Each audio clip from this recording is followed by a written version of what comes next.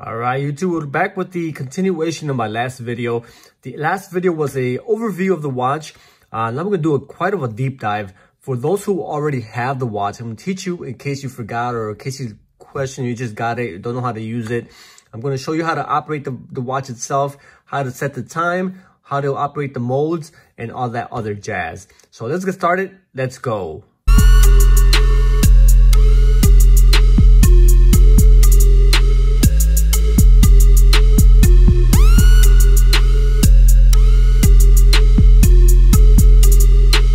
Guys, for starters, when you first get the watch, you have to make sure you charge it. Um, these watches do require some energy, a lot of battery consumption.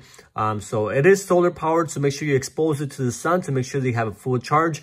There is no um, indicator on the watch that tells you the battery level, but if you press the C button, so this is the C button here, if you push the button and, and you cycle through the modes, once you get back to the home time, the second hand will indicate um, if the watch is charged by either pointing to the 12 o'clock position or the um, 2 o'clock position right here.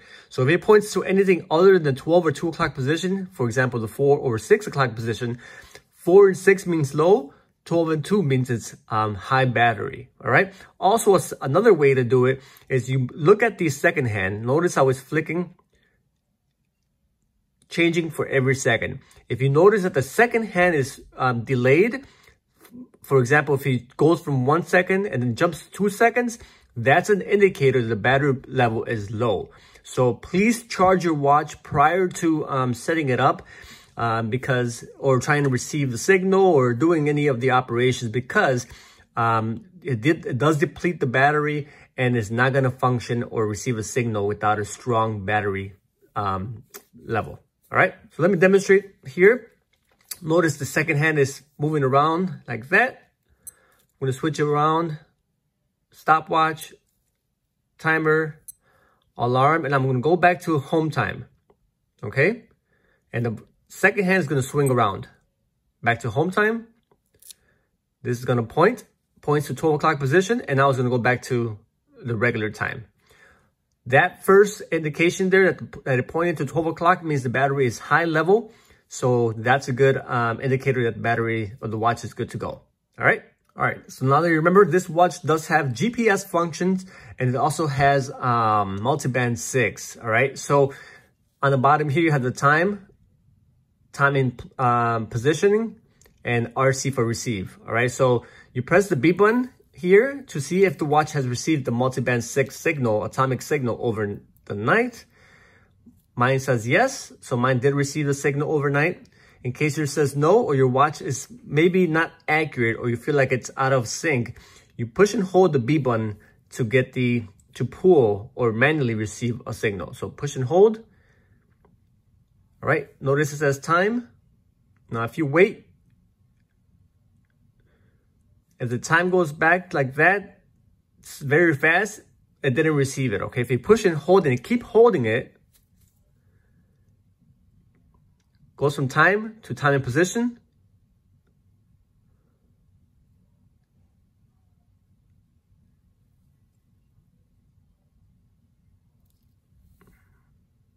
And now it's requesting a GPS and atomic time signal to um, sync your watch to the towers. Now, be mindful, very important. The watch is very sensitive to movement. So if you try to do this and you're holding the watch and you're moving it around and um, it's not going to sync. Also, um, it's very sensitive to your location. If you're in a basement somewhere or your um, your view, the, the watch is obstructed by towers, some kind of interference, it's not going to receive a signal. So it's ideal position is to put it by a window with the G-Shock facing outward towards the window uh, when unobstructed view so that it receives the signal. Um, that's the ideal method. Um, so if you put it in the closet somewhere at night or back in the box or in a, in a drawer somewhere, you might get the signal, but it's very unlikely. All right, so the signal strength, the ideal um, positioning of the watch to get the signal strength and sync your watch is to keep it close to a window facing out, out with the G-Shock 12 o'clock position facing outward, okay? There's just a mental note of that. All right, you notice there the exit it exited time in position and the hands are moving back and forth. I push this button here. Notice it says no. Once again, I did not receive a signal, but that's how you operate the watch to request a uh, signal manually. Otherwise, every night it will automatically do that for you um, as you sleep. Okay. So if you're ever traveling and they tell you turn off Bluetooth, uh, turn off anything that might interfere with the pilot, um, put the watch in airplane mode. Right? To do so, you press the C button, which is down here, push and hold it until the watch beeps and the mode window um, hand points to the airplane right there. So push and hold, keep holding, keep holding, keep holding. And get to that beep function. And there you go. The hand is now pointing to the airplane mode. Your time will continue to um, circulate and keep track of time, but it's not going to be as accurate because the airplane mode is off. Therefore, it's not going to receive um, GPS positioning coordinates. Um, it's not going to receive the atomic signal. So to remove it out of airplane mode, which I recommend you do that immediately after you're clear, uh, push and hold T again until you get another beep. And your watch resumes full regular operation. Uh, if you live in a country or somewhere where you don't receive the atomic signal, you'll want to manually uh, set up the time on this watch. To do so, you want to unscrew the crown, right, until it pops out. And then you pull it out to the second position. That's one. That's the second position, all right? There, you want to make sure you select the right time zone. In my case, I'm going to select Chicago. Now you're going to push and hold the C button. This is the A, B, C button. Push it for 10 seconds. Push and hold.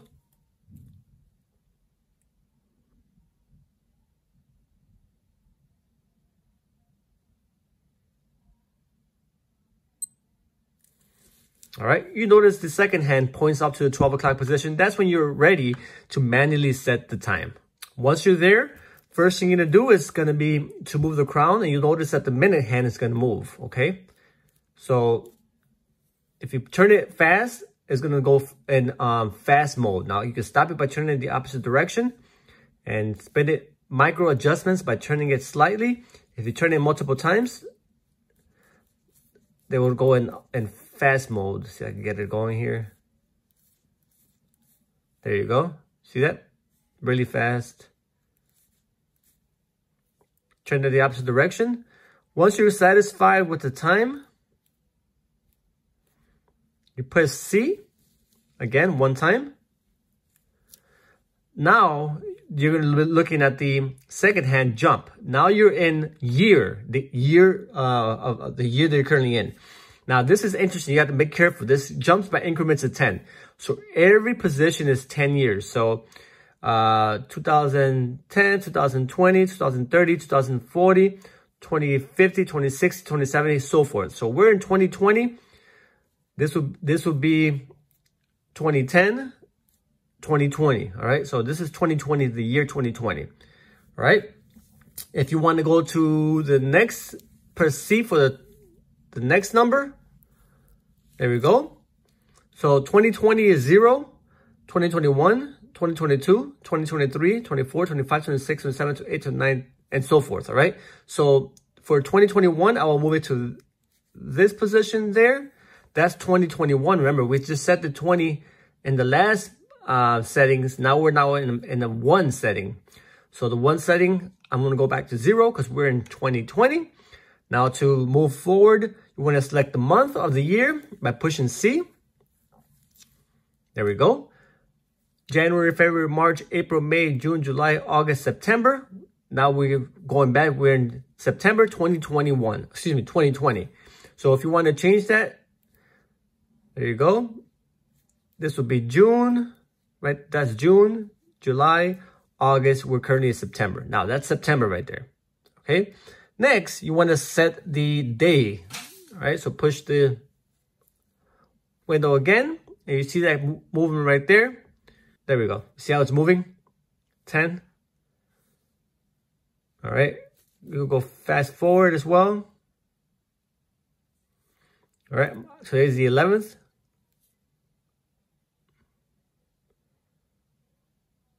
The date is the 11th. All right. So we set the year 2020. All right, we set the month, September. We set the time, and now we set the date. All right, push the crown in, and your, your, your setting is all done. All right, next we're gonna show you how to align the hands. Sometimes the second, minute hands, whatever, all the hands, the uh, mode button, whatever, all those windows, they get misaligned. So you have to manually align the hands by completing this function here, okay? So you wanna pull the crown out to the second position, one, two. Second position, now you want to hold, wait till all the hands stop moving. Now you want to push and hold the B button, which is A, B. This is the B button.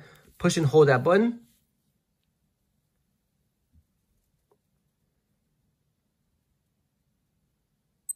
All right, you get a beep. All the hands are going to move. You know, wait until they stop moving. They're going to point to the 12 o'clock position. That's the zero position when it comes to alignment.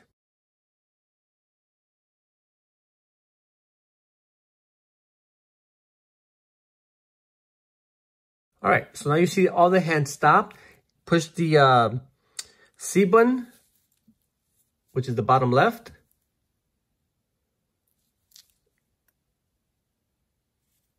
Look at that. See how that is not aligned? There we go. Now it's aligned. See that? Want to make sure it's 12. Now push the C button again. Your mode window also pointing to true north. That's a 12 o'clock or zero position for alignment purposes. This one as well is going to point. I'm going to stop it because it's going to take forever.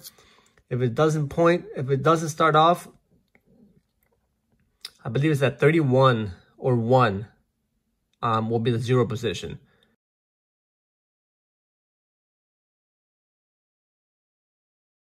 There it is, the 1 position. Now if you turn it, all right, so say you're, say it stops and it stops like that, that means the date window is misaligned. So you want to get it back to the 1. You want to make sure that it's centered on the window there. There you go. Move back a little bit.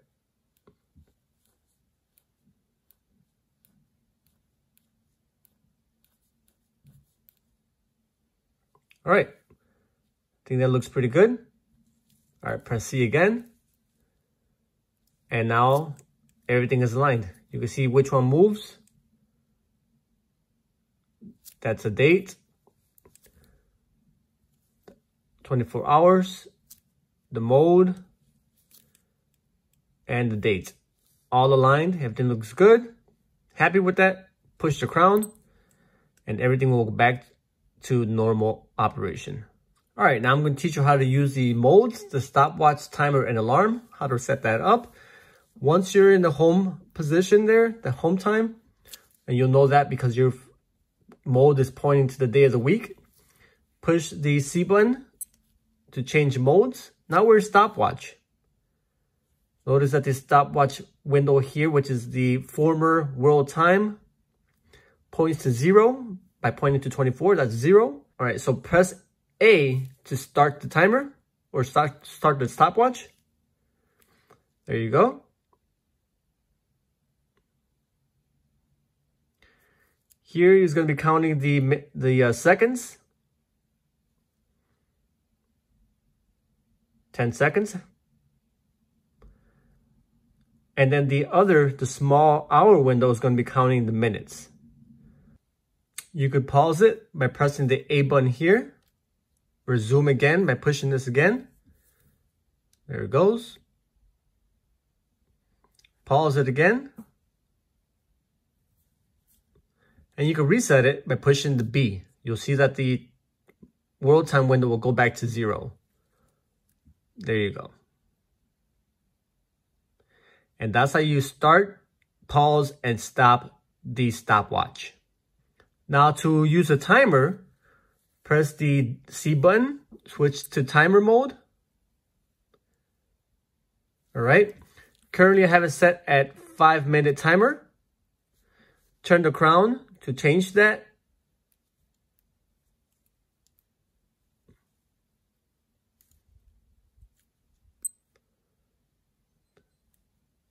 There you go. It's a 10 minute timer five minute timer. I'm gonna do a one minute timer, okay? Just to test it.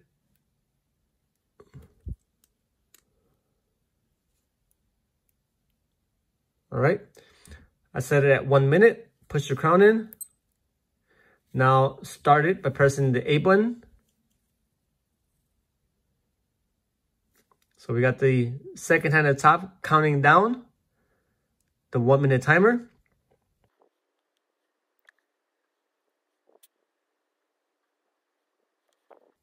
All right, four, three, two, and the timer has stopped. You can push any button to stop the chimes. And there you go. That's how you use the timer. Now I'm going to show you how to set up the alarm. Push the C button again to switch modes to alarm. This is your alarm window settings right there. Pull the crown out. You can set the alarm to whatever time you want it to be.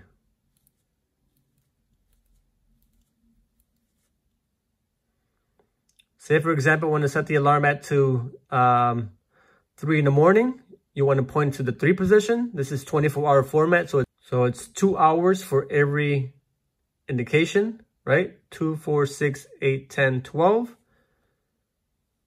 So three would be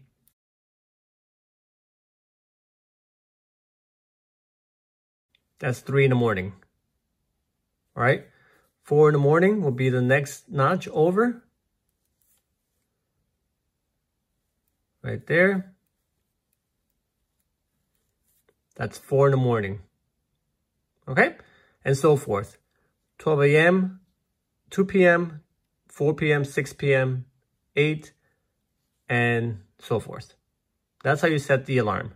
To turn on and the, to turn the alarm on and off, once you're in the alarm mode, push the B button and you can see the second hand point to on and off. So currently it's pointing to on. If I push the B button here, You'll see that it moves the, sec the second hand to the off position. Once again, on and off.